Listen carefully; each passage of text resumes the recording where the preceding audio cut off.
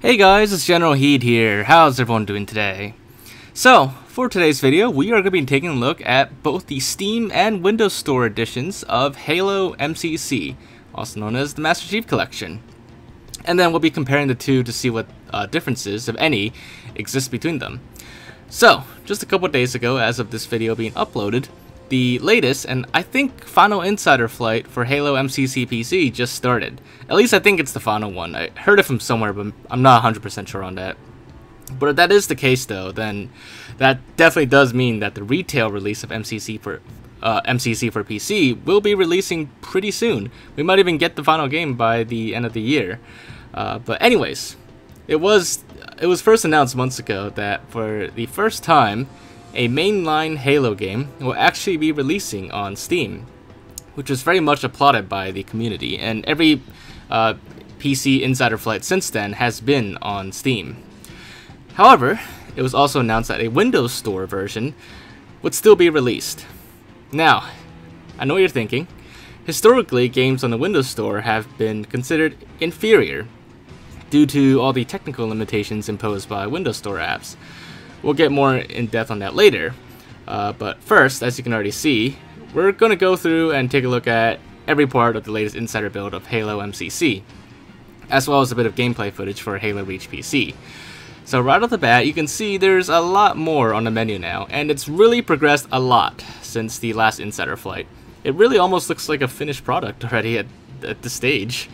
Uh, there's even the new progression system with seasonal unlocks available now as well. Uh, and on top of that, you can finally see what the armor customization system looks like too. The armors and effects, they actually look pretty great in the new engine for the main menu. If you notice earlier in the bottom right corner, there's also a few buttons for quick access to the settings. The in-game text chat, as well as the, uh, the Steam button to access the Steam overlay. Keep that spot in mind for now, since I'll be talking about it again later briefly. Uh, but yeah, so there's so many options now on the main menu to customize your game settings. It's very much like what you'd expect from a full-fledged PC game.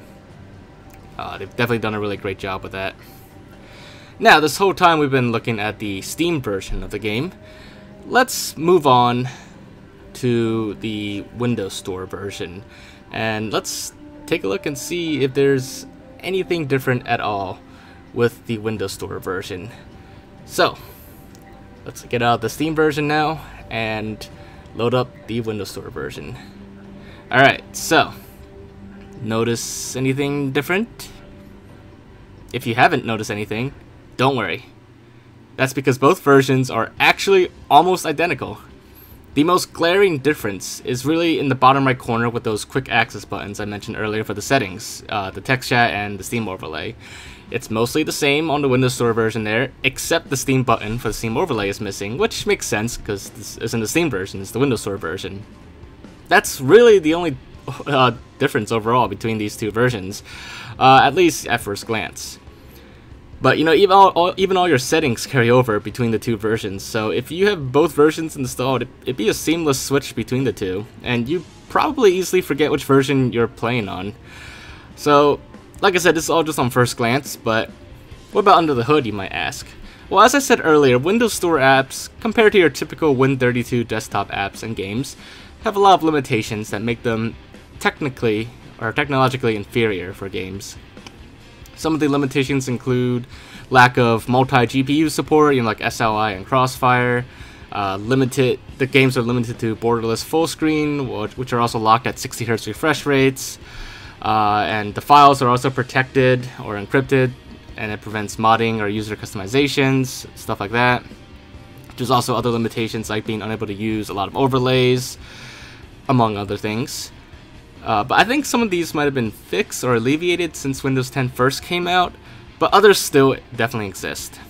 Plus, a lot of Windows Store games in the past, such as Call of Duty, Halo Wars, and so on, they've lacked crossplay with the Steam versions, for some strange reason, which essentially made the multiplayer population pretty much dead, uh, especially like shortly after the release. So this time around, what about Halo MCC PC? Does the Windows Store version hamper it? Well, the answer is nope. Now, I'm not 100% sure about this, but it would seem like the Windows Store version is actually just the same Win32 version that's on Steam, but it's been uh, repackaged for distribution on the Windows Store. It's not exactly a true native UWP uh, Windows Store app. But aside from that, the game is identical and runs the same too. It's not missing any settings that are available in the Steam version, nor does it have any of the technical limitations that previous Windows Store games have had that I've listed above. But that's probably because, you know, as I speculated earlier, that it might not be a true native UWP Windows Store game. But again, I'm only speculating on that. But, you know, it, it really does not feel like a uh, your typical Windows Store game, or UWP game, I should say because uh, I haven't really noticed any of the limitations. Like even in the settings menu, you saw like I can set the frame rate the, um, to unlimited, um, and I don't I don't think it's limited on a refresh rate either. But anyways, with all that in mind, you may be wondering now, which version should you get? Traditionally, you'd probably want the Steam version for its numerous technical advantages over the Windows Store version, but this time around, as you saw, since both versions are almost technologically identical to each other, it's not necessarily so clear which one you should get. Well, based off of all the information that's been announced so far, the version you will want to get depends on a lot of factors. For example, if you are a Game Pass or Game Pass Ultimate subscriber, then I'm pretty sure you'll essentially get access to the Windows Store version and the Xbox version for free, so to speak. Likewise, if you already own it digitally, one of the things that 343 discussed uh, a while back was looking into Play Anywhere support, which means if you bought it digitally, you'll get the PC version as well for free. Um, but last I heard, they haven't 100% committed to that yet, and I'm not sure there's been any update on that since. But if it does become the case, then you might already own MCC PC on the Windows Store if you meet either of those conditions above. In which case, you might not need the Steam Edition anymore, unless you want to spend the extra cash again for what's essentially the same game. Not to mention the Windows Store version is capable of crossplay with the Steam version this time around, so it's not like you'll be missing out on anything either. So, TBH, if you do go with the Steam version, uh, with the Windows Store version, most likely you'll be pretty satisfied with it and wouldn't notice any differences with the Steam version. Now then, what about the Steam version? Well, if you don't have Game Pass or are already on MCC on Xbox digitally, then it's definitely worth considering the Steam version as well. Why, you might ask? Well, even though the Steam version is for the most part identical to the Windows Store version, it might have some things that will entice you. The biggest is mod support. In the early announcements, mod support uh, was basically targeted towards the Steam version, which likely means Steam Workshop, or simply letting you have access to the game files to modify with, you know, any community-made mod tools. You see, the Windows Store version's files are pretty much encrypted and can't be modded. That's probably the biggest reason to get the Steam version, actually. There will be a lot of user-created mods you'll be able to play, or even your own mods that you might want to create, but that most likely won't be possible with the Windows Store version. But if mod support isn't of any interest to you, then the other reason might be for access to the Steam overlay, which you can also access through the in-game Steam button as well with the Steam version. Uh, also, the Steam version supports Windows 7 and Windows 8, so if you don't have Windows 10 yet, then you actually kind of don't have any choice. You you have to go the Steam version in that case.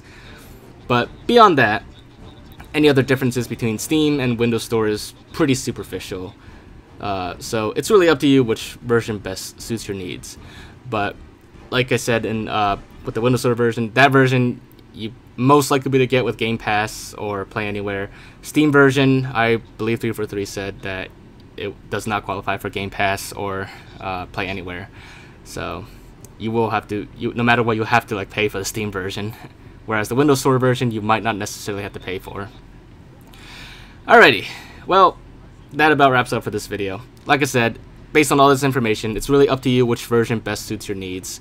Uh, there is no must-have version. Uh, really, it's you know, it just depends on which one you really need.